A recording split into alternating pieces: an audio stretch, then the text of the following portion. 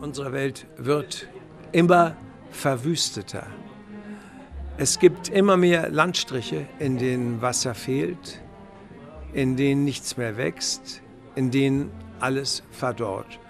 Wir wissen, dass sich nicht so schnell ausdehnt wie unsere Wüsten. Aber es gibt noch eine andere Verwüstung. Das ist die Verwüstung unserer Seelen.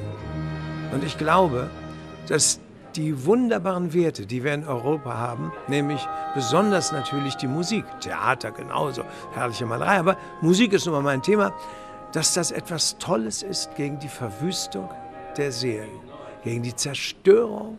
Und wir erleben im Moment so unglaublich viel akustische Umweltverschmutzung. Wir dürfen ja nirgendwo mehr irgendwie mal in Stille verharren, sondern immer werden wir manipuliert durch irgendwelche Töne, die unser Kaufverhalten Verhalten verbessern sollen oder irgendetwas anderes.